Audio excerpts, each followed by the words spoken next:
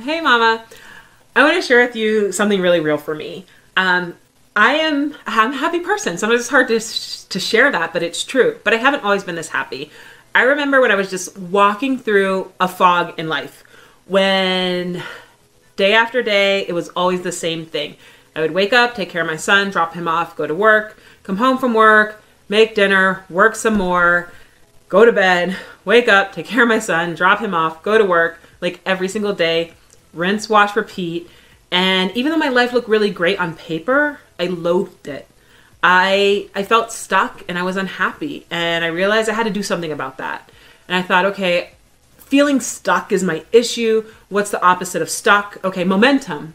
And not just momentum, forward momentum, moving in the direction I want to move in. But like how do I get there? How do I go from stuck to momentum? What's the key to making that happen? And I realized the key to making that happen is getting clarity. Clarity makes all the difference and being able to unstuck yourself and start moving forward with momentum in the direction you want to be in. Because what I realized was by not being clear on what I really wanted, I was settling for everything that came my way. And some things seemed great, but great isn't necessarily what you need if it's not what you want, right? It's like, oh, let me give you this new job with lots of money. That seems great. But if that job isn't actually what you want, if it's not giving you the freedom that you need, if it's not the type of challenging work that you want, it sounds nice, but it's not actually what you need.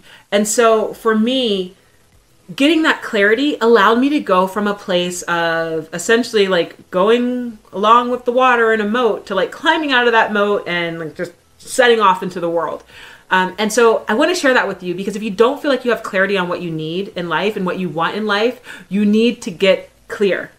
So take 10 minutes and write down what you want for your career, for the relationship with your kids, with your partner, for the fun in your life.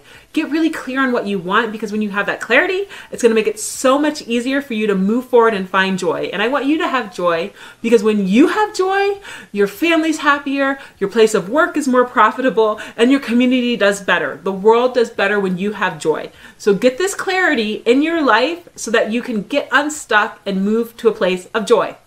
Hey, Mama, if you like what you just heard, I'm now offering VIP days where we can work together to help you thrive in and out of the office. Come check it out on my website, The Savvy Working Mom.